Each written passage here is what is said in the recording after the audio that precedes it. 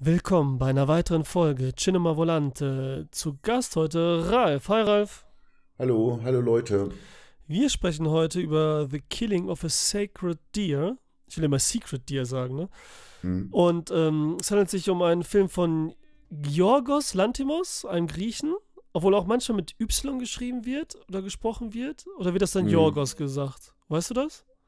Ich glaube, so wie du es gesagt hast, aber nicht so krass, nicht dieses äh, Nicht dieses harte Ge- Y, sondern so eine Mischung aus G gehaucht äh, Y. So Okay, kann ich dann- jetzt schlecht beschreiben. Dann sage ich Lantimos. Einfach Lantimos. Lantimos. Mhm. aus dem Jahre 2017, geht zwei Stunden lang, FSK 16.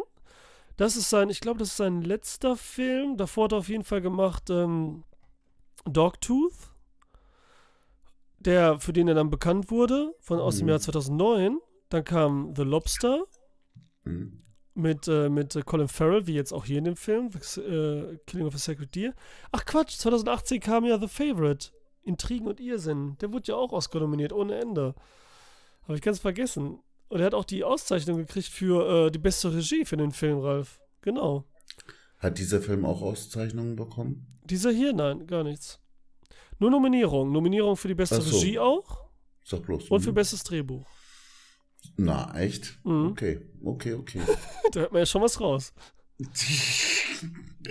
ja, schon. Etwas, ja. Gib ich zu. Ähm, genau, wie fangen wir an? Handlung kurz wiedergeben? Die Handlung ist ja schnell beschrieben, ne? Ja, dann sag mal an. ein äh, renommierter Chirurg ähm, einem, äh, äh, äh, einem äh, renommierten Chirurg äh, passiert ein Fehler, wahrscheinlich aufgrund Alkoholkonsums, sodass jemand stirbt. Und dann kommt es zu einer Verbindung zwischen dem Chirurg und dem äh, 16-jährigen Sohn des Verstorbenen. Mhm. Letztendlich lernt dieser Junge dann auch die Familie kennen und dann erpresst er den Vater in einer extremen Art und Weise, äh, um Rache zu üben für den Verlust, den er erlitten hat aufgrund der Schuld des Chirurgen. Äh, und das Ganze gipfelt dann in eine Art, sage ich jetzt mal so, ähm, Blutbad. Also wir haben hier keinen Katharsis-Effekt oder irgendeine Synthese oder sonst was, sondern äh, es wird einfach zum Schluss durchgezogen. Da ist das okay so beschrieben, oder? Ja, auf jeden Fall. Jetzt hast du auch wirklich den ganzen Inhalt wiedergegeben, also quasi mehr oder weniger, ne, wie es auch weitergeht. Was die erst eine, also wir können ja direkt so starten, wir jetzt für mich dann eine Überraschung war, weil man fragt sich am Anfang wirklich, was ist da los mit Colin Farrell und dem Jungen?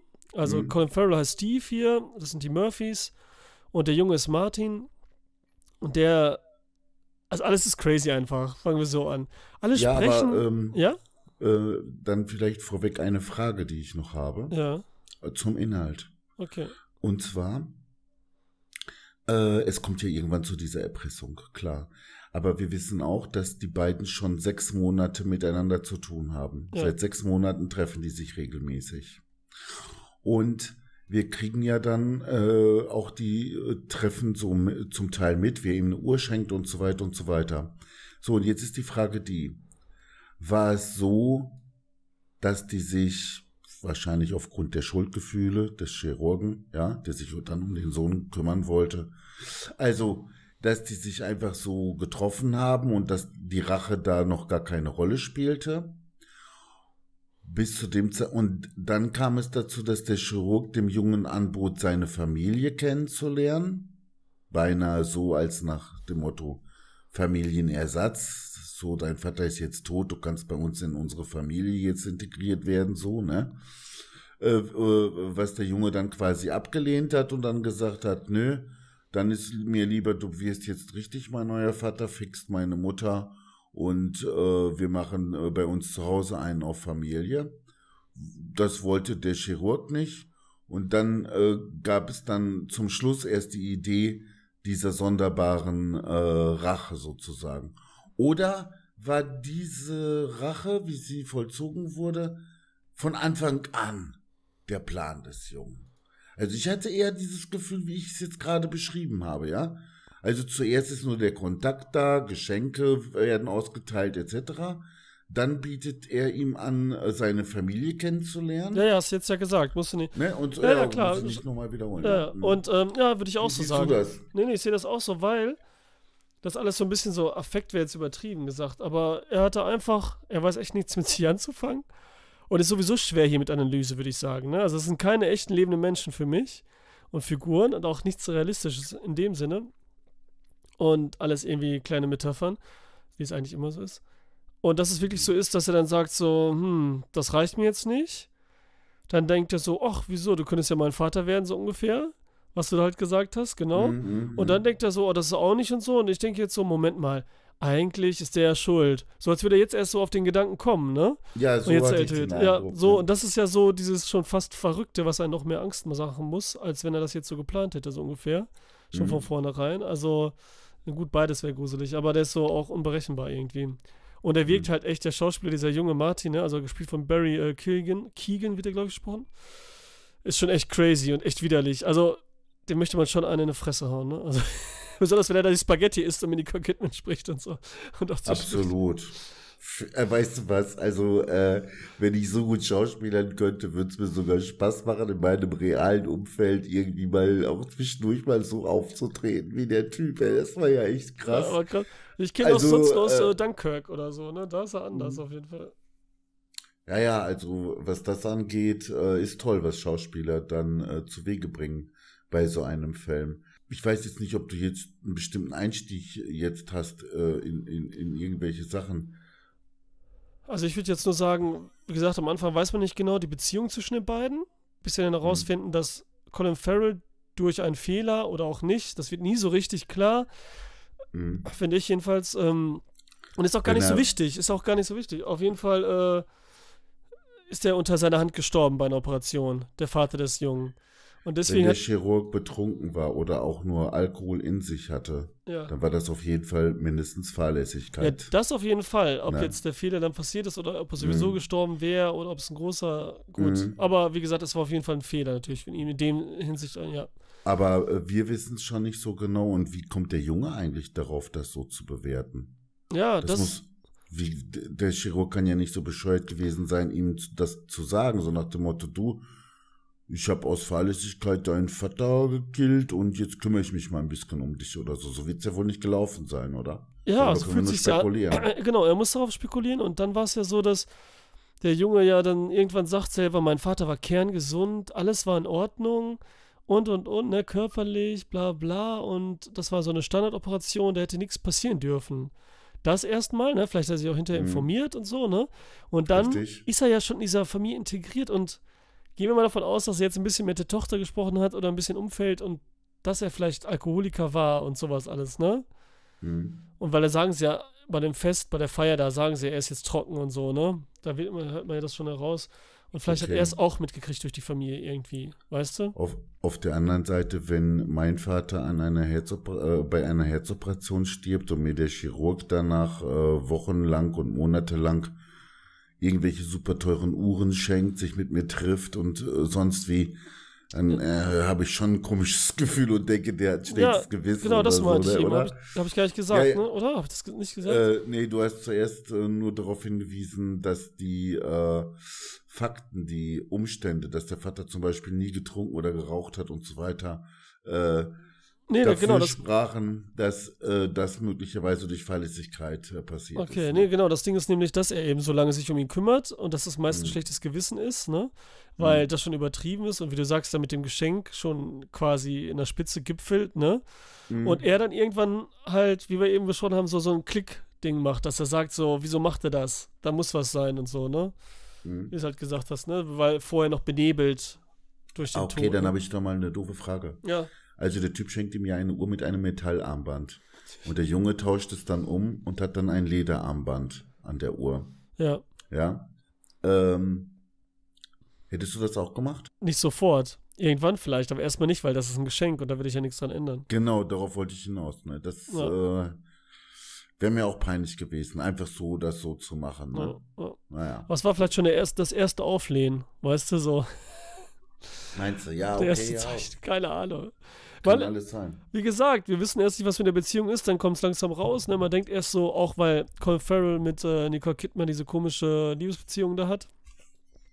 Und äh, diese komischen Sexspielchen, Fetische, indem sie sich totstellt, beziehungsweise, ähm, wie heißt das nochmal? Narkose. Hm? Genau, narkosiert, äh, narkosiert, äh, in der Narkose und so fühlt. Narkotisierter. Narkotisiert, genau, das ist Hm. das Wort. Alter Falter. Aber nur zum Anschein. Ja, ne? ja, ja, ist schon klar. Nee, Und- Entschuldigung, äh, zu, äh, scheinbar. Zwischen, äh, scheinbar. Scheinbar. Solche Sachen und die Tochter das ja anscheinend auch gesehen hat und wie sich das dann aussieht, die jetzt dann auch, als sie da mit ihm, ne, schlafen wollte, dasselbe gemacht hat, sie auch äh, narkotisiert dargestellt hat, hingelegt hat. Ja, das war auch das Erste, was ich gedacht habe, als die Tochter sich dann da so hinlegte. Aber das muss nicht sein. Also, ähm, ja, nein, ich will jetzt auch nicht aus dem Schatz meiner sexuellen Erfahrungen sprechen. Also, so weit müsste man jetzt noch nicht gehen, dass sie jetzt dieses äh, Narkosespiel äh, nachahmen wollte. Ne? So ja, aber ich finde schon so ein bisschen so dieses nicht nachahmen, aber da sieht man so, also wenn dann überhaupt nachahmen, ohne so zu wissen, was sie da macht, weil sie das halt bei den Eltern gesehen hat und sich natürlich nicht auskennt und Teenager ist und dann macht man halt erstmal die Sachen so, die in eine Richtung gehen, wo man so noch keine Erfahrung hat, ne? Ich glaube, das war einfach nur eine 14-jährige Jungfrau, die sich in einer Weise präsentierte, die dann so eine Art äh, passive Klamotte war, ne? So nach dem Motto. Ja, so, würde ich dir immer so. recht geben, aber nicht jetzt in dem Fall, weil sie legt sich genau Nein, nein, so, nein, wie ja, sie ja. hin, ne? Okay, aber jetzt du hast sofort, recht. ne? Also, es drängt sich, es drängt sich vollkommen auf, das ist ja dass klar. das also. jetzt nachgeahmt wird, ne? Was sie möglicherweise da aufgeschnappt hat von ihren Eltern. Ne, und bei dem Film äh, muss man gar nicht darüber spekulieren, ob sie das eventuell heimlich äh, äh, gemacht hat. Möglicherweise haben die Eltern sie sogar dazu eingeladen, mal zuzugucken. Naja, so ungefähr stand sie in der Tür und dann war sie nicht überrascht, so, oh, tut mir leid, dass ich euch erwischt habe. Das macht nichts, Tochter. Möchtest du hineinkommen? Du kannst ruhig zuschauen, falls du möchtest. so wie sie halt Ja, ja, ja, ja, so ungefähr. Jetzt hast du schon ein bisschen die Sprechweise nachgeahmt. Mhm. Und äh, ich muss sagen, einerseits äh, kommt es irgendwie monoton rüber, ne, irgendwie. Aber trotzdem ist doch ein Stimmklang da und auch eine, eine, eine, ja, eine Klang, ein, ein, ein, Spra ein Sprachklang sozusagen da, ja, eine Sprachmelodie, die bloß komplett anders ist, als man das gewohnt ist, ne? Ja, also weil es auch. gar nicht so leicht nachzumachen. Nee, das nicht. Und es ist halt auch so im Zusammenhang und betont eigentlich nur diese, diese Emotionslosigkeit, weil alles ja nach außen frei, preisgegeben wird. Jeder Gedanke Hm. wird ja einfach gesagt, ausgesprochen und das emotionslos aber quasi. Also ohne Handlung, ohne Wut, ohne Trauer oder dergleichen findet ja quasi nie statt so richtig, außer dann in Ausnahmefällen zum Schluss hin. Und was für mich dann auch so negativ war, weil die ganze Zeit sprechen die immer ihre Gedanken aus, sagen, was Sache ist, auch auf der Party. So jeder Mensch, ne? Das ist so eine Welt irgendwie. Auch bei der Mutter von dem Jungen, wo sie da sind und so. Jeder sagt immer, was er denkt. Jeder macht immer, jeder ist immer ehrlich sozusagen dann ja auch, wenn er sagt, was er denkt. Und das zieht sich ja durch den ganzen Film durch. Das macht ja so interessant und so diese trockene Art und Weise. Dann, wo man bricht aber irgendwann Colin Farrell extrem damit. Und schreit dann doch und weint und solche Sachen. Und kriegt Gewaltausbrüche und so. Und das war für mich irgendwie, hat für mich nicht funktioniert auch. Verstehst du, was ich meine? Mhm, mhm. Weil jeder hat ja, selbst wenn er Wut hatte oder Sachen, wo man traurig sein müsste oder sauer oder irgendwas, oder was weiß ich für Emotionen, wird es immer so trocken ausgesprochen und direkt und ehrlich. Und Ja, hinterher fängt ja er an das Lügen an und so weiter, beziehungsweise dann auch, ne? Wird alles äh, emotionalisiert dann noch, ne? Ja, man weiß ja in so einem Fall dann auch nicht, ob jemand Emotionen zurückhält oder von vornherein äh, emotionslos ist. Ja, also in diesem Film kriegen wir es nicht mit. Warum nicht? Weil es durchgehend so läuft. Ja, es ist durchgehend. Ja, für mich ist das einfach ein Stilmittel des Films jetzt, ne? Das Natürlich, Ja, ja. ganz klar. Es nervt total. Aber auf der anderen Seite, äh, ich sehe da auch zum Teil so einen Kontrast zwischen dem, äh, sagen wir mal, bedeutungsvollen, wenn es um Leben und Tod geht, auf der einen Seite und auf der anderen Seite, dass man Banalitäten äh, äh, total im Dialog äh, w- w- weitläufig benennt und beschreibt und so weiter, ja, die überhaupt nicht interessieren, sozusagen. Ne? Ich meine, weißt du, wenn jetzt zum Beispiel zwei Chirurgen gerade nach einer Herzoperation im Flur rumlaufen und sich über eine Uhr unterhalten, ey, vollkommen okay, warum nicht? Die haben ja auch einen gewissen Abstand, ne? Ähm, äh, äh den wir so nicht haben, wenn wir jetzt erstmal so ein offenes Herz sehen, ne? So, äh, also mir geht's jedenfalls äh, nicht so toll damit. Jetzt kommen die da raus und, und, und reden über was Banales wie dieser Uhr und so weiter, was aber vollkommen okay ist. So im Alltagsleben redet man viel über solche Banalitäten auch und so weiter. Aber die machen das in einer Weise, ja, als, als wenn äh, äh, von äh, der Form nach, wie sie darüber reden, kommt, könnte man glauben, die reden jetzt über was ganz Wichtiges, was bei der Operation abgelaufen ist. So, verstehst du? Dadurch wird es nochmal verstärkt, also dadurch wird es noch stärker banalisiert sozusagen oder die Figuren werden quasi fast banalisiert dadurch, ne? Ja. Dass sie nichts zu sagen haben. Und wenn man den Jungen mit dem Mann sieht, haben die sich wirklich was zu sagen? Nö.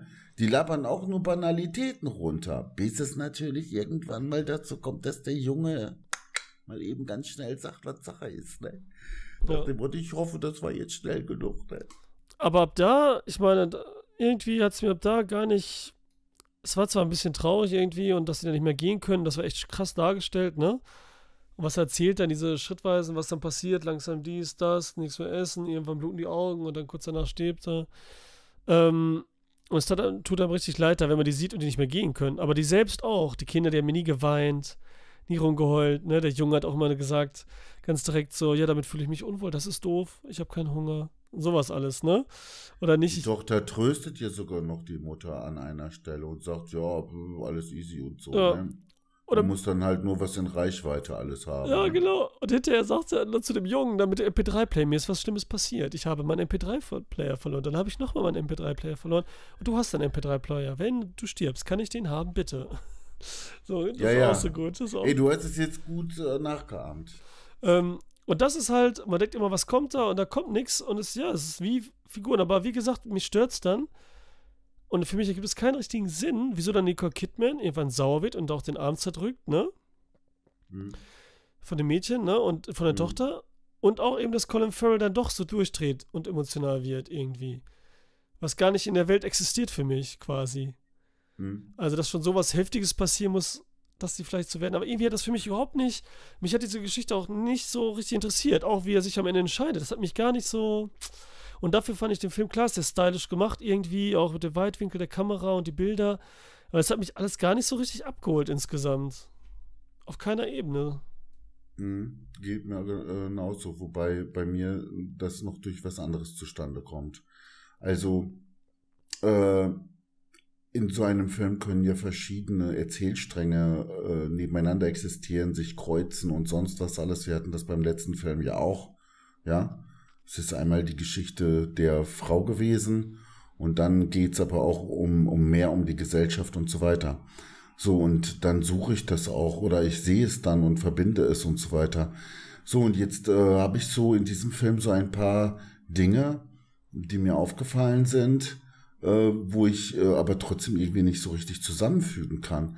Und zwar, ähm, da wird einmal, äh, also äh, äh äußerst krass, natürlich, also äh, ich sag mal, äh, ist das jetzt eine spezielle Form des Humors, wenn man äh, mit einer Sache konfrontiert wird, mit der man überhaupt nicht rechnen kann, wie zum Beispiel, dass ein renommierter äh, äh, äh, Chirurg, ja, äh, seinem Sohn im Krankenhaus erzählt, wie er seinen alkoholisierten Vater einen runtergeholt hat. Ey, ich hätte es beinahe gar nicht so aussprechen wollen. So, ja, ne? ja. Äh, dann die anderen äh, äh, Szenen äh, des Sexes, wobei es einerseits auch wieder quasi banalisiert wird, nämlich als ähm, die Nicole Kidman äh, dem äh, Kollegen des Chirurgen da im Auto einen runterholt, während sie gleichzeitig mit ihm über irgendetwas redet. Ja, da ist es dann ja auch irgendwie wie so eine technische Nebensache oder so. Äh, wie eine Fußmassage, könnte man fast sagen. Ne? Äh, dann wieder diese Geschichte mit dem Koma, was ja schon so ein bisschen so nekrophile Bezüge äh, hat, wenn man es mal ganz krass sehen wollte. Und so weiter und so weiter. Was hat, äh, äh, was, ja, da könnte ich mich fragen, was sollte das? In, in einem anderen Film ergänzt sich, äh, ergänzt das irgendetwas, also eine Aussage oder zu einem Rückschluss oder keine Ahnung was oder passt halt zu den Charakteren und beschreibt sie näher oder was auch immer. Aber was sollten jetzt diese abnormalen äh, Sexualklamotten äh, da jetzt transportieren? Was sollten die? Ja, also gut, jetzt wo du es so sagst, also das sind ja alles keine Figuren quasi, weil keiner hat irgendwelche Bedürfnisse so richtig, ne? Außer so ganz normal diese Standard vor sich hin leben und so, aber keiner hat irgendwie, ich sage jetzt mal ganz doof, so richtiges Hobby oder so. Selbst das meiste, was noch Emotionen rauskommt und auch sehr technisch dargelegt wird, ist ja das Singen von der Tochter. Irgendwie. Aber das wird auch so technisch und perfekt und eben so emotionslos gemacht, eigentlich, das Singen an sich, was ja eigentlich was Emotionsvolles ist, ne? Wird so mhm. durchgezogen. Auch das Atmen, ja, das machst du gut und so weiter. Erst als der Junge reinkommt, entsteht so ein bisschen was, dadurch, dass sie auch mit ihm weg will und dass sie raucht und so, oder dass er raucht und so, ne? Bringt so ein bisschen Wind so in die Sache. Aber alles sind leblose Maschinen irgendwie. Oder Götter. Und, ja, oder eben Götter. Und äh, ja, da können wir auch noch gleich hinaus. Und dieses Todstellen passt natürlich dazu, weil letztendlich sind es nur tote Wesen quasi, ne? Oder dieses äh, Beweglose irgendwie, ne? Und die können sich auch nicht gefühlt frei bewegen, weil sie halt an der, an denen gefesselt sind, woran sie halt gefesselt sind im Leben. Gut, dann frage ich dich eins. Ja. Ähm, da der Chirurg ja nicht von Anfang an erpresst wird, mhm. was für mich mhm. wesentlich mehr Sinn äh, ergeben hätte. Ähm, ich verstehe schon, worauf du hinaus willst. Ja, wieso hat er dann überhaupt ein schlechtes Gewissen gegenüber dem Jungen? Ja, das haben wir vielleicht auch falsch ausgedrückt. Vielleicht ist es kein schlechtes Gewissen, sondern einfach nur etwas, was man da machen muss ich habe deinen Vater getötet, ne? Dessen ist er sich dann wahrscheinlich bewusst. Also kümmere ich mich um dich, ne? So, das Ding. Also geben, nehmen. Die Funktion. Und nicht wirklich, ähm, nicht wirklich schlechtes Gewissen. Haben wir jetzt immer so ausgedrückt, weil so wäre es eigentlich. Hm, okay. Ne? Sagen, nennen wir es mal so. Und das Ding ist halt, wie gesagt, das wäre super interessant auch. Alles auf ähm, menschliche Hüllen hinunterzubrechen, die funktionieren in ihrer Welt. Mhm Mhm. Und solche schlimmen Schicksalsschläge aber da hinein, hineinzufügen und das auch bis zum Ende konsequent so durchzuführen, dieses Emotionslose. Ich meine, er geht ja letztendlich auch damit um, mit einem logischen Ding. Also, wenn er, mhm. dass er dann dieses äh, Ringelreihe spielt, was auch ein bisschen witzig war, weil ich dachte, alter Schwede, die wirst ja nie eintreffen, ne? so ungefähr. Okay. Rückt ihn eher zusammen, dachte ich so, ne, dass der Kreis kleiner ist und dann holt er eine Uzi, ne? Ähm, mhm. Auf jeden Fall, dass der Radius größer ist. Und das macht er wieder konsequent und logisch, zieht es durch. Und danach geht es ja einfach straight weiter, ne? Am Ende mhm. auch, ne? Ja, ich meine, wenn der, wenn der Vater, also der Chirurg, äh, seinem Sohn die Donuts, Donuts in den Mund presst. Ja. Oder ihn einfach aus dem Rollstuhl hebt und wups, einfach mal so fallen lässt, ja. so nach dem Motto. Das sah ne? auch gut heftig aus irgendwie. Ist das dann einfach nur, sagen wir mal, so eine gewisse mh, mm, Frustration des Fachmanns, der einfach nicht mehr weiter weiß und äh, oder siehst du da auch schon irgendwo, dass der Mann eben doch Emotionen hat und jetzt ein bisschen am Durchdrehen ist? Ja. Aus der Verzweiflung. Er dreht ja nachher durch, aber ich würde schon fast sagen, dass er einfach so logisch denkt, dass er sagt, wir haben jetzt alles probiert. Mhm. Alle Sachen. Und es ist eigentlich unmöglich, dass das so ist, wie es ist. Deswegen kann es mhm. nicht sein. Deswegen musst du eigentlich gehen können. Weil alles Logische sind wir durchgegangen. Ne? Mhm. Das ist sowieso mhm. interessant hinterher. Ich meine, das kann man auf vieles ansetzen, gerade heutzutage. Ist es hat natürlich einen hohen Stellenwert, aber jetzt wird es auch schnell als Ausrede genommen, dass er sofort sagt, wieso, dass sie das nicht sofort als psychosomatisch abklären wollen, ne? Weil sofort immer gesagt so, ah, wir haben zwei, drei Sachen gemacht, das muss psychosomatisch sein und so, ne? Also dieses Ding halt, ne? Das wird ja heute, mhm. so sehr es auch stimmt meist, äh, wird das schnell immer so als Ausrede genommen, ne? Aber so denke ich das auch. Das, und dann weiß halt nicht weiter. Und das ist vielleicht dann doch, dass dieses System, wenn alles Logische nicht mehr da ist, dass dann vielleicht äh, man aus der Hülle ausbricht und dieses Emotionsding kommt. Das macht es vielleicht kaputt, wenn das System kaputt ist. Das kann sein. Deswegen dreht er durch. Okay, jetzt haben wir es doch so ein bisschen. Also letzten Endes unterm Strich aufgrund der Art und Weise, wie die reden, aufgrund der teilweise bizarren äh, Dinge, die da ablaufen und so weiter, mit denen man nicht rechnet, Insbesondere als der dem Jungen diese Geschichte erzählt. auch so trocken, ne? Also das ist natürlich dann nochmal ja. witziger, deswegen, ne? Erfährt man einerseits doch auch etwas aus dem Bereich des Intimen, Mhm. wenn man so will. Ja.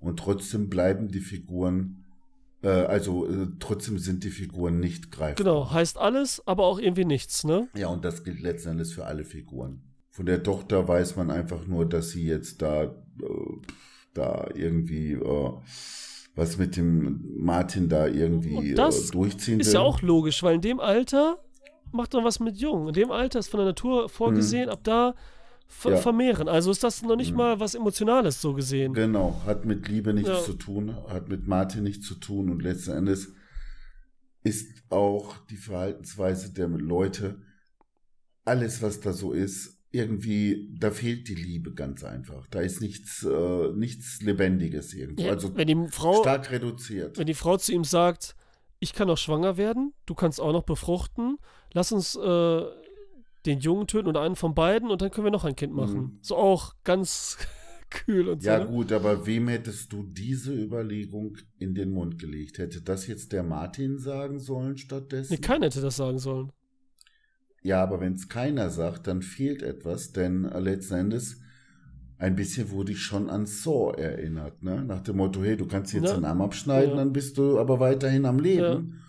Und hier eben auch dieser Effekt, so ja, du kannst ja jetzt einen töten und dann leben die anderen aber wenigstens weiter. Wobei ich mich gewundert habe, der Bob, der Junge, ja, der war ja schon am Bluten aus den Augen. Das heißt, sein Tod war ja jetzt schon festgelegt. Da gab es ja keine Rettung mehr. Dass die Tötung Das dann weiß ich trotzdem nicht. Das habe ich nicht, weiß ich nicht, ob das so war, dass Doch, es doch. dann gar nicht mehr Mhm. geht. Er sagte nur, dann stirbt er bald. Aber Nein, nein, er hat jetzt nicht gesagt, dass die Tötung dann äh, nicht mehr zählt. Das hat er nicht gesagt. nein, nein, ich meine so, dass er das, ähm, ob es da nicht noch möglich ist, den zu retten, weil wir wissen ja eh nicht, worum es sich handelt. Wir wissen ja nicht, oder keine Rettung. Wir wissen- wenn bist wenn sicher? aus den Augenblut, wenn die dritte Phase erreicht ist, dann ist die vierte quasi vorprogrammiert. Hat er meiner Ansicht nach so. Nee, ich, der hat nur gesagt. gesagt, danach, er hat es nur gesagt in der Reihenfolge, was dann passiert. Das ist das Letzte und dann stirbt er bald.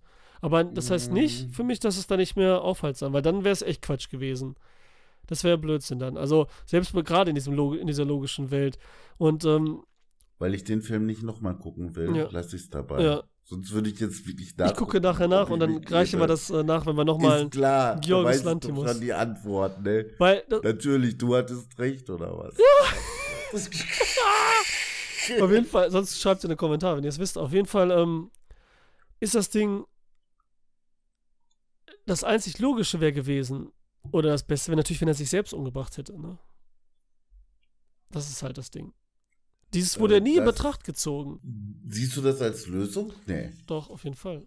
Ja gut, äh, für ihn selbst, weil er dann aus der Entscheidung äh, nee, aber raus ja, ist. aber dann hätte der, das ganze Konstrukt hätte ja keinen Sinn dann für den Jungen Hm. auch, ne? Ihn Der hätte die bestrafen. Kinder trotzdem sterben Kann lassen. sein, aber ich, ich meine jetzt so, ne, wenn man schon drüber nachdenkt, dann lieber so, ne? Oder wenigstens fragen, du? wenn ich mich selber umbringe, ne? Weißt du, so. ja, Fragen gesagt. hätte er können, Fragen hätte er können. Du, Aber du, die Frage kam ja auch auf. ich weiß nicht, ja? Doch, doch, doch. Ich glaube, Nicole Kidman hat äh, in einem Gespräch mit dem äh, Jungen das dann so aufgegriffen mal an einer Stelle. Oh, weiß ich gar nicht mehr. Kriege ich jetzt leider Gottes nicht so genau hin, hätte ich mir notieren müssen. Äh, habe ich als äh, habe ich jetzt nicht so als wichtig erachtet. Deswegen habe ich das jetzt ähm, nicht mehr so richtig im Kopf. Ja, aber ist ja schon wichtig. Also, weil das ja da sozusagen der Film, ne, äh, wie er endet und wessen Lösung. Und wir sehen ja am Anfang da zwei, dreimal, ich glaube, es sind nur zwei Mal, aber drei Propeller richtig immer schwingen, ne? An der Decke. Ja, ein Propeller. Und dann am Ende dachte ich so, auch was soll das und so, ne? Gibt eine coole Atmosphäre und alles, ne? Und dann zeigt das nochmal, ich glaube echt nur zweimal. Und am Ende dreht er sich ja wie so ein Propeller auch, ne? Also es ist wieder doof, ne? Aber du weißt schon, also so Nee, die Mühle irgendwie, das Drehen, der Kreislauf, keine Ahnung. Auf jeden Fall ist es auch witzig dann so mit den Bildern, ob das dann so gewollt ist oder nicht. Ja, ich hatte das Gefühl, dass durch Bilder, aber eben auch durch Sound teilweise das dargestellt werden soll, was möglicherweise doch im Inneren äh, äh, der Leute vorgeht, ohne dass das wirklich so äh, zum Ausdruck gebracht wird, richtig. Das heißt, als der Mann zum Beispiel das ähm, jetzt damit konfrontiert wird, dass sein Sohn nicht mehr laufen kann und so weiter und so weiter, äh, da ist dann auch so ein komischer Soundeffekt, so ein Durcheinander, so Ja. wie Chaos sozusagen. Ich mir gedacht, okay, so fühlt man sich in so einer Situation als Vater möglicherweise, ja. Ein über ein Donnern in der Birne, ein, ein Chaos und so weiter und so fort. Äh, dass das auch durch Bilder und so weiter halt deutlich gezeigt wird. Ja, ne? aber genau wie du sagst, ne? Es ist ja eher dieses Chaos und Durcheinander, was auch bei einer Software sein kann und dann funktioniert es nicht mehr richtig, ne? Also dieses Logische fehlt halt, weil er sagt, ne, das und es gibt keinen, das ist so, als würdest du eine unmögliche Aufgabe halt stellen oder dergleichen, ne? Eine, wo es keine mhm. richtige und gerade muss, ich meine, er fragt seinen, er fragt den Lehrer der Kinder und so, ne? Er versucht es ja. wirklich so logisch wie möglich zu machen. Wer ist besser in der Schule? Und so, ne? Solche Sachen halt, ne? Wer hat eine bessere Zukunft quasi? So irgendwelche, wo man es so an Zahlen festmachen, ne? So was alle gerne machen, irgendwie Filme mit Zahlen mhm. bewerten oder so. Ähm, was eigentlich auch bei Filmen eigentlich völliger Quatsch ist, ne? Aber so für sich gesehen kann man es natürlich machen, aber so an Kunstwerken und emotional appellierenden äh, ähm, Werken halt, ne? Und ja, ich sehe das. Ja, ja, sag ruhig. Sag du. Außer es ist was also Negatives. Ich, nein, also ich sehe ich, äh, ich seh das so. Ähm, wir haben hier eine Erpressung, eine quasi aussichtslose Situation. Natürlich kennen wir das von Filmen, dass Protagonisten in ausweglosen Situationen sind und äh, finden dann plötzlich irgendeine Lösung, mit der wir niemals hätten rechnen können. MacGyver und so weiter und so weiter. Und äh, hier haben wir sowas Bedrohliches. Ähm, äh, gibt auch andere Action-Filmbeispiele, wie mit Bruce Willis beispielsweise, ähm, der durch die ganze Stadt gejagt wird und irgendwelche Aufgaben erfüllen soll, weil sonst irgendwo eine Bombe losgeht ja. und so weiter. Und es bleibt ihm nichts anderes übrig, als von A nach B zu hetzen. Ähm, wie, wie geht das aus? Wie löst sich das auf? Und da ist es auch überhaupt nicht wichtig zu wissen, warum äh, derjenige, der ähm, ihn dazu zwingt, äh, mhm. warum er ihn bedroht. Da hast du natürlich ein Beispiel genommen, weil da ist es ja ganz, ganz unwichtig, ne? was ich hier nach. Mhm. Jetzt bei Stirb langsam 3. Aber, Darum habe ich es genommen. Ja. Und jetzt in diesem Film äh, hat es also schon doch eine Bedeutung. Mhm. Da gibt es einen Bezug, warum, wieso, weshalb. Und dann frage ich mich, soll das eine Art Rechtfertigung sein? Soll uns das äh, das Ganze verständlicher sozusagen machen? Ja, äh, der Junge hat seinen Vater verloren und so weiter. Aber wir können kein Verständnis dafür aufbringen, weil der Junge sich speziell dazu ja eigentlich überhaupt nicht äußert. Das heißt, wenn er jetzt in der Ecke liegen würde und weinen würde, mein Vater, ich habe ihn so vermisst und so weiter. Stattdessen faselt er irgendeinen Scheiß von, äh, wie sein Vater die Spaghetti isst und so ein Schwachsinn. Verstehst du, was ich meine? Ja, ja. das war echt eklig. Diese Spaghetti-Szene war echt gut. Alter das war mit wahrscheinlich die beste, die beste Szene von dem Typen, ja. von dem Mann. Und dann zeigen sie den Nicole Kidman im Gegenschuss minutenlang gefühlt ohne eine mhm. Regung im Gesicht, ne? Also das ist ja auch mhm. gelesen und so, ne? Und sie war da gerade nicht mehr, nicht mal mehr so voll gespritzt wie des Öfteren. Ähm, ja, aber da können wir jetzt ja auch mal drin, drauf hinaus. Ähm, ich meine, wird ja direkt im Titel schon drauf angespielt.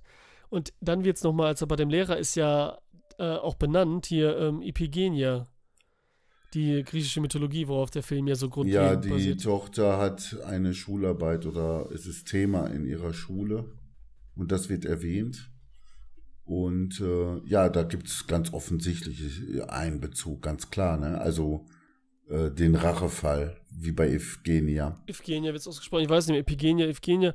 Ja, weil, weil, aber ich finde trotzdem ist es jetzt nicht so vergleichbar, weil gut, das Grundlegende, er tötet da anscheinend so ein heiliges Reh halt, ne, wie es halt da ist in seinem heiligen Garten, göttlichen oder was auch immer, und dann zur Strafe, er darf ja nicht nee, weiter. Ich glaube, das war nicht der Grund. Das war nicht der Grund, dass er den Hirsch getötet hat. Okay. Das ist meine persönliche Meinung. Ach so, also, persönlich, also, okay, so wird es meist zusammengefasst. Griechische Mythologie gelesen habe, noch und nöcher, glaube ich, dass der eigentliche Grund war, dass er daraufhin behauptet hat, er wäre ein äh, besserer Jäger als ähm, ja, Artemis ja, der, der, ähm, dieser Frau gehörte ja der Garten, wo er den Hirsch erlegt hat.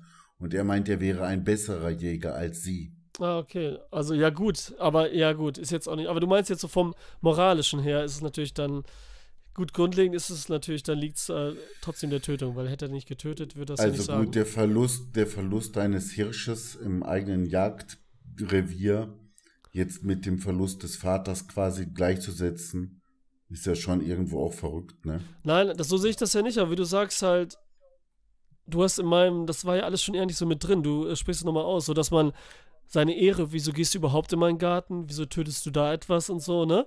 Das ist ja schon alles so persönlicher Angriff quasi. Okay, dazu ne? gebe ich einen Ehre. Hinweis. Ja. Die Griechen, das äh, sieht man also auch schon in, äh, bei Odysseus, der später die Nebenbuhler alle tötet. Ja.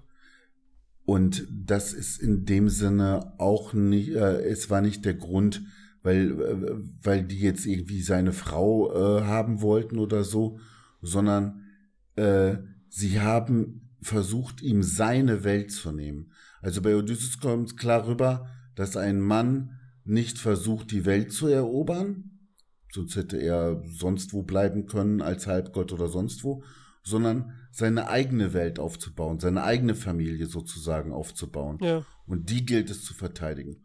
Und hier haben wir diesen Garten von Artem, Artemis. Und ich denke mal, äh, dieser Jäger hat sozusagen nicht irgendwie einen Teil geklaut oder weggenommen, sondern äh, ihre Welt streitig gemacht, sozusagen, ja. Das spielt ja eine große Rolle bei den Griechen, sozusagen. Ne? Ja. Äh, kann man das mit dem Film in Beziehung bringen? Ja, denn der Sohn beschreibt es bei der Spaghetti-Szene mehr oder weniger auch so ein bisschen so, äh, dass seine Welt sozusagen damit zerstört. Es ist nicht nur einfach so, dass der Vater nicht mehr da ist, sondern die ganze Welt auch drumherum ist irgendwie kaputt. Ja, ne? ist ja logisch. Also, natürlich wird das immer ausgesprochen und dafür sind ja die Filme da. Und jetzt, wie du sagst, in Mythologien, weil ja immer Sachen, die vorgehen und Vorgänge im Leben und Gesellschaft und soziale Vorgänge dann genauer erklärt werden. Also, es ist ja klar, also, dass die, dass das, was daraufhin passiert, dass der nicht der Tod an sich ja das Wichtige ist, sondern es ist ja wichtiger, dass äh, mein Vater nicht zuguckt, wenn ich Fußball spiele, dass äh, Mhm. alles drumherum, diese ganzen Sachen und alles da verschwindet und meine Mutter schlecht geht und mein, Mhm. die Geborgenheit, wie man aufwächst und so, diese ganzen anderen Kleinigkeiten, die diese Welt halt. Ne? Also das ist ja immer so für mich gut, äh, natürlich mit drin. Also ich hätte, ich hätte diesen Bezug vielleicht sogar noch nicht mal erwähnt oder sogar vergessen. Ich sag dir auch ganz klar warum. Hm? Als die Tochter Evgenia erwähnte, ja. Da dämmerte es mir. Okay. Äh, du hast es jetzt zur Sprache gebracht, deswegen bin ich darauf eingegangen. W- mich stört dabei nur eins. Da serviert einem sozusagen der Film ähm, eine Erklärung oder einen Bezug auf ein Silbertablett. Und ich reagiere natürlich sofort darauf, ja, und, und reiß mir diesen Brocken in, in die Birne und versuche jetzt daran irgendwo was aufzuschlüsseln in diesem Film, ja, ihm doch noch eine tiefe Bedeutung zu geben. Ich fand das auch schrecklich, dass er das nochmal erwähnt hat. Ich meine, der Titel reicht ja Ja. eigentlich schon, ist ja ein Bezug drauf, aber das Ja. nochmal zu erwähnen, Und äh, das, äh, das ist auch eine Irritation für mich, weil äh, ja, in dem Mangel anderer Hinweise habe ich mich dann gedanklich schon mal kurzfristig voll darauf gestürzt, da ver versucht, andere Sachen abzuleiten. Und das war halt eine Irrfahrt. Also, das war nix, das war eine Sackgasse Ja, sozusagen. wie gesagt, es ist nur so ein Thema. Da er macht was Mhm. und dann will der andere Mhm. äh, stoppt die Flotten, die nach Troje da Ja. auf dem Weg waren. Und dann soll er Mhm. seine Tochter opfern oder soll er etwas opfern oder er macht es einfach. Ich weiß es gar nicht, wie es da ist. Das ja die Frage. Auf jeden Fall hat er seine Tochter dann geopfert und dann durfte er weiter. So. Das ist dieses Opfer. ja, wie halt, hieß ne? der nochmal? Agamemnon. Genau, glaub ich, Agamemnon, ne? ja. Mhm. Da waren sie Ja. alle am Start bei der Odyssee. Da waren sie ja alle da. Ja, gut, äh, du, ich sag mal so, ne? Wenn man jetzt, ähm, sagen wir mal, eine Story über Götter äh, schreibt und so, ne? Und dann auch beschreibt, wie sie vielleicht Sex haben und so, dann, dann ist das vielleicht sogar noch äh, sinngebend, Ja. weil man plötzlich das Gefühl hat, oh, diese Götter, denen fehlt die menschliche Emotion. Und dadurch kommt das dann so rüber. Mhm. Aber hier in diesem Film werden Menschen dargestellt, wird eine Geschichte quasi erzählt. Und da äh, finde ich diese ganzen bizarren Klamotten, äh, so extrem wie sie sind, dann dennoch irgendwo zusammenhangslos. Ich hatte gehofft, jetzt hier beim Podcast von dir vielleicht zu erfahren, wo da eventuell Zusammenhänge zu finden sind. Aber äh, nein, da wird dann irgend so ein Schwachsinn reingebracht. Genauso hätte er jetzt noch mal irgendwo äh, eine äh, vier fünf Szenen zum Thema Breitling-Uhr äh, versus Rolex bringen können. Ja, verstehst du? Das, das, das, das, das ist ätzend, ist das für mich. Absolut ätzend. oder es erschließt sich mir einfach nicht, was das soll. Ja, es ist ne? halt so, gut, man kann jetzt noch viel sagen, so, okay, Ärzte werden auch so Götter genannt, sie entscheiden irgendwie über Leben und Tod, diese ganzen Sachen. Und aber es ist mir so doch so ein konsequenzlos, also Konsequenzen sind ja da, aber nicht konsequent durchgezogen irgendwie, was du halt erwähnst, dieses Götterdingen und so weiter. Und klar ist irgendwie ganz gut, aber letztendlich kriegt es mich dann doch nicht und irgendwie habe ich dann doch keine Tiefe, die ich sehe. Man könnte jetzt vielleicht nochmal genau die griechische Mythologie noch genauer durchlesen oder die Parallelen finden, das bringt es dann aber auch nicht. Außer dass einer sagt, so, ah, ich weiß, das ist cool und so. Ja, ja, genau da. Ne, wenn einer Spaß dann hat, sowas genau, zu finden. Ne? Genau, genau, genau. Deswegen wollte ich zuerst noch nicht mal Ja, ja. erwähnen. äh, Ja, um das aber das. Ding stand halt so, äh, wie der Hirsch in der, im Wald äh, mittendrin äh, in der, wie sagt, in der Lichtung. Deswegen musste man das erwähnen, weil der Titel, und dann erwähnen sie es selber nochmal, das ist echt, äh, Ja, stimmt. Also, äh, aber vielleicht Ja, guckt man irgendwann nochmal in ein paar, ich, wie gesagt, nee, weißt du, was wir jetzt ich machen? nicht. Ich meine, du kennst ja auch noch keinen Film von, von dem Regisseur, ne? nein. Äh, nicht, dass ich wüsste. Also ich habe noch den neuen gesehen, Favorite, den habe ich gesehen, aber der ist nochmal ganz anders, ne? Das ist so eine, äh, schon eine Komödie eher. Eine dramatische. Und jetzt gucken wir einfach die Filme davor mal. Mal sehen, was er drauf hat oder nicht. Dogtooth. Ja. Wir gucken den ersten Du, Dogtooth. äh, oder war das Bizarre einfach nur äh, witzig gemeint? ja, ich dachte auch Einfach schon wieder. Mal, ja, einfach nur mal ein bisschen Dreck reinwerfen, sozusagen, in die ganze Klamotte. Weil wir hatten ja, wir hatten ja letztens hier ähm, Midsommar und Hereditary und hatten ja auch schon gesagt, das könnte auch eine Komödie sein. So Hm. gruselig sie auch sind und schrecklich. Und äh, hier fühlt sich auch so an, so ein bisschen. Gerade auch, weil die Sachen, die du vorhin erwähnt hast mit den Sprüchen und wenn so Mhm. trocken erzählt wird. Das ist schon, äh, ja. Aber ehrlich gesagt, ich äh, konnte nicht so drüber lachen. Ich konnte nicht so drüber lachen. Also diese Story, die er dann dem Jungen erzählt, ich meine, okay, jetzt lache ich doch, ne? Ja. aber also äh, totaler Schwachsinn. Ne? Und ich sag mal so, ne, ich habe ja mal gesagt, so der Anfang eines Films, das ist, also, weißt du, wenn ich hier sitze und vielleicht sogar Langeweile hatte und es ist mitten in der Nacht, ich kann nicht pennen und dann starte ich irgendeinen Film und dann reißt er mich sofort mit, schon in den ersten Sekunden, vielleicht durch den geilen Sound, Mhm. Kamera. Manchmal habe ich schon nach Sekunden eine Sicherheit, das ist ein geiler Film, reibe mir die Hände, freue mich und ab geht's sozusagen, ne? Und bei diesem Film kriege ich da so ein scheiß verfettetes, offenes, schlagendes, noch lebendes Herz Direkt, äh, ja. präsentiert, ja. Und das nicht für zwei oder drei Sekunden, sondern für eine gefühlte Ewigkeit. Ja. Ne, ich habe schon weggeguckt, ich habe äh, ich habe schon weggeguckt und alles und es hörte einfach nicht auf. Da ging es mir schon auf den Sack. Und ehrlich gesagt, ne, im weiteren Verlauf dachte ich dann auch, ne, will der Regisseur mich nerven, ne? Will der mir Ja, auf die das, Nerven gehen? ja, aber das Herz ist ja auch schon so, ne? Das ist ja das, was allen fehlt halt, das Ja, Herz, ne? Das ja, ja. Witzige. Und das ist Ja. ja halt so klinisch dargestellt wird, dass es eigentlich nur ein Organ ist und so, ne? Und mehr Mhm. nicht. Und das ist dieses, wofür es immer steht, Metapher Herz haben und so und Emotionen, dass es das gar nicht gibt. Egal. Dann, Ralf, Du, ein, eine gute Sache gibt es doch zu Okay. sagen für den ja, Film. dann sag dir noch, dann. Ich fand die schauspielerische Leistung äh, gut. Also insbesondere von, äh, von dem ähm, Martin, Ja, Barry Keegan, ja. aber auch Nicole Kidman, äh, Pharrell haben ihre Sache echt gut gemacht. Zu den Kindern kann ich jetzt nicht so viel sagen, das hätte ich mir nochmal durch den Kopf gehen lassen müssen. Aber jetzt speziell diese drei, die ich genannt habe, haben schon äh, schauspielerisch das echt gut gemacht, weil es, wenn man so einzelne Szenen für sich nimmt, einzelne Szenen für sich, zum Beispiel die Spaghetti-Szene, ja, Äh, oder wie sie da, wie der Junge da die Rolltreppe runtergeht und auf einmal doch Peng aus so einer großen Dis Kameradistanz heraus sozusagen. Ja. Und, und andere Ideen, das mit dem Propeller, was du erwähnt hast, gewisse Soundeffekte.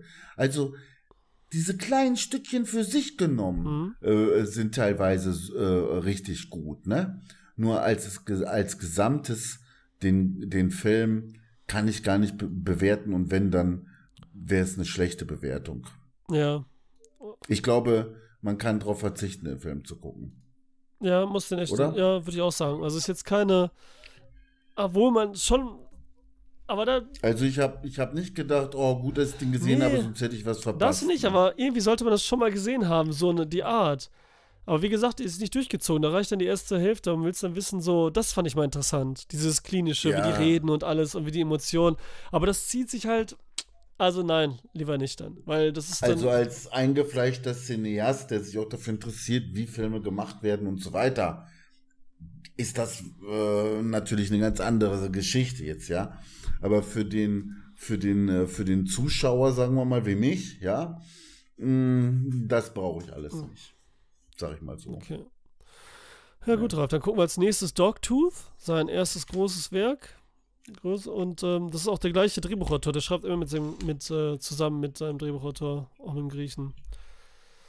Äh, Oh Mann, bin ich ich, mal hatte gespannt. mir vorgenommen, von dem nichts mehr zu gucken und jetzt sogar ein Erstlingswerk. Hm, da bin ich jetzt trotz alledem gespannt, wenn du es schon so vorschlägst. ja, von 2009. Der ist echt alt. Der hat echt dann so lange nicht mehr gemacht. Also, Oh, dann wundert es mich, wenn ich den Film noch nicht kenne. der ist dann aber wirklich auch in Griechenland produziert, ne? Mit griechi- griechischen Schauspielern und so weiter, ne? Hm, hm, Und hm. Dogtooth, Hundezahn. Also genau wie ein Hund, der für uns vorkommt. Wir Hm, sind ja die hm. Hunde schon lange nicht. Auch wieder inspiriert von griechischer Mythologie. Wer weiß, wer weiß. Weißt du Ich gar weiß nicht? gar nichts über den Film, nichts. Ach so. Ich weiß nur, Hm. das Einzige, was ich weiß, dass die Leute, die ihn gesehen haben, nichts verstanden haben. Oh Gott, ja, alles. Oh, oh, oh, oh, oh, oh, alles klar. Und dann dachte ey. ich so, dann gucken wir den. Dann war der Film, den wir heute besprochen haben, wahrscheinlich schon gehört es schon zu der Kategorie verständlich. Ja, was? wahrscheinlich. Aber der Film geht nur 90 Minuten. Der hier ging ja zwei Stunden. Der ging nur neun, der geht nur 90, keine 90 Minuten. Das ist doch schon mal super. Ja, hätte man durch äh, Wegschneiden einiges äh, verbessern können bei diesem Film. War da noch was durch den Schnitt zu retten? Ich glaube nicht, weil das Problem. Nein, nein. Nee, ich ne? nicht, nein. Okay, äh, ja, dann, also mir fällt dann da auch nichts mehr zu ein. Ja, dann. Außer die Frage vielleicht noch, ich meine, Pharrell, Kidman, hm, das sind ja schon teure Schauspieler, oder? Ja. Also wer solche Schauspieler castet, der ist ja schon auch für die Kinokasse ambitioniert. Oder ging es ihm nur, ne, ich meine, klar, es ging ihm darum, äh, dass gut abgeliefert wird. Äh, Das ist der Grund, warum man solche Schauspieler reinbringt. Natürlich aber auch, weil die bekannt sind. Ne? Ja. Also du erfährst, dass der Film mit Nicole Kidman ist beispielsweise und denkst, okay, der kann ja nicht so schlecht sein. So, ne? So denken ja viele. Ne? Ja, auf jeden Fall zieht er dann noch was, ja. Ja, und äh, da ist dann die Frage, die Gage macht ja auch immer sehr viel aus vom, von den Kosten. Ja. Ne? Weißt du denn auch bei diesem Film, was er gekostet hat und was er eingespielt hat? Ähm, also erstmal ist das Ding oft, gerade bei so kleinen Filmen, das ist ja schon so ein Arthouse-Film, kann man ja nennen fast. Und auch wieder von A24, ne? Das gleiche Produktion, äh, Studio wie von ähm, Hereditary Midsommar. Dass hier die Schauspieler dann meist ein bisschen weniger nehmen, weil die wissen, was das für ein Film ist und auch mitspielen wollen. Wenn es so ein guter neuer Regisseur ist, bei dem man mitspielen kann. Und Colin Farrell hat auch vorher bei Lobster mitgespielt. Von seinem Folgerfilm, ne, den wir dann vielleicht auch noch gucken, wenn uns Dogtooth gefällt. Und dass sie dann schon mal weniger kosten. Ne? Klar, immer noch mehr als No Name, aber das auf jeden Fall. Der Film, was er gekostet hat, habe ich nicht gefunden. Ich habe nur gefunden, was er eingenommen hat. Und das Hm. sind 7 Millionen. Mehr nicht. Nee, weltweit. Das kommt mir sehr wenig vor. Also jetzt deswegen, weil ich davon ausgegangen bin, dass die äh, namhaften Schauspieler doch mehr Leute ins Kino ziehen würden. Ja, bei der Stoff, der Regisseurname kennt man nicht, dann noch ein Grieche und so. Viel im Dings produziert, kein Amerikaner. Und da wird ja auch schon so, wer weiß wie. Also die Kinos wissen ja schon, was das ist und die können ja nicht so verkaufen. Also, es ist, äh, ja, was soll man sagen? Die wussten schon, damit kannst du nicht viel werben und anfangen. Ja, dann kann man sich auch nicht darauf verlassen, äh, wenn jetzt ein Film äh, für Preise nominiert wurde. Eigentlich heißt das ja auch schon was, ne? Auch wenn er die Preise nicht kassiert hat. Scheint ja alles irgendwie, äh, ja, auch nicht mehr so relevant zu sein. Ja, aber so. bestes Drehbuch hat er ja bekommen. Ah ja. Nee, war, ach nee, da war der- nominiert. Entschuldigung, das war ja bei Hm. Favorite, glaube ich. Entschuldigung, ja. Aber das ist schon Ja, mal gut, weil wir reden jetzt hier Mhm. von Kinoeinnahmen, ne? Hinterher DVD, Blu-ray und so weiter sind dann die Oscar ähm, schon gut. Auch wenn der Nominierung steht ein großer Sticker vorne drauf. Und dann werden schon Mhm. nochmal Tick mehr Leute den kaufen, ne? Und denken, ach, Colin Farrell und Oscar irgendwas und so, ach cool. Du, man sagt doch immer so schön, dass äh, die Kinder, wenn sie sowas gucken, dann auch mit ihren Eltern hinterher darüber reden sollen. Und jetzt stelle ich mir so eine puritanische Familie im Mittleren Westen vor, wie der 16-jährige Sohn dann mit seinem Vater darüber spricht, dass der Typ im Film seinem Vater einen runtergeholt hat, ja? Und dann sollen sie in der christlichen Jesusfamilie dann darüber mal diskutieren, ey, also ehrlich, doch. nee, nee, nee, da glaube ich nicht. Gut, Ralf, dann haben wir alles. Dann gucken wir uns jetzt Dogtooth an als nächstes und ähm, hm, ja, ich, äh, also du kriegst, also ich weiß nicht, ich hoffe, ja, gut, machen wir. Aber wehe, das ist auch wieder so ein Film. Ja, ey, wenn, wenn das scheiße ist, dann schalten wir ihn aus. Fertig. Nee, äh, wenn der jetzt auch wieder scheiße ist und ich habe mir jetzt zwei Filme von ihm angeguckt, dann rufe ich den Typen an und verbiete ihm weitere Filme zu produzieren. Ja, gute Idee. Ne? Dafür lerne ich vielleicht sogar noch Griechisch. nee, echt, echt. Oh Mann, gut, Ralf, dann äh, danke an die Zuhörer. Danke, Ralf. Bye. Bye.